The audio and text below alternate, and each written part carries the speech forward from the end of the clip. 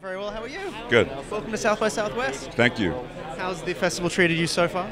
Uh, I just arrived, so so far it's horrible.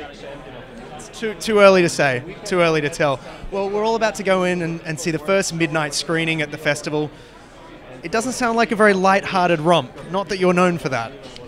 Um, it depends on how you what you're looking for in your lightheartedness. I mean, uh, for me, it was a highly lighthearted romp.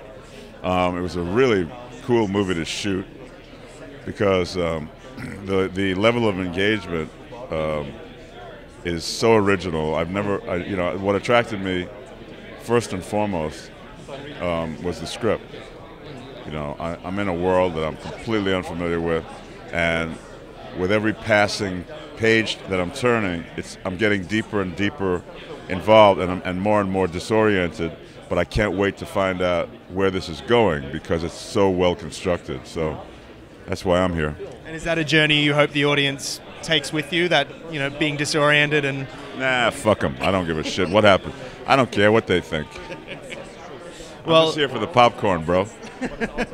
well, there's some great popcorn over there. We just I came out of another screening. Very hungry. How long are you in Texas for? I have another movie um, on Monday called uh, Before I Disappear, and I'll stay and see that Monday afternoon, and then I fly home Monday night. And uh, I have to ask this as a fan: Did you get to keep the shoes from Pacific Rim? I tried to, but uh, uh, you know, Guillermo beat me to it.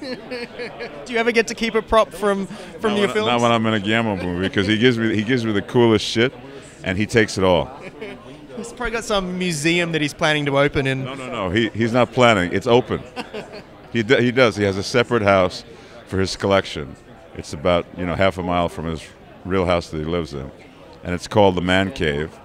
Um, and it's uh, it's spectacular. It's uh, he's got an amazing collection of things that have sprung from his imagination and things that have sprung from the imagination of his heroes. And, you know, he's just there's a book that just came out called Cabinet of Curiosities, and it's basically just Guillermo's world, and there's a lot of photographs from his his man cave. Well, we'll have to check that out, and can't wait to see the film. I hope it all goes well. Thanks very much for your time.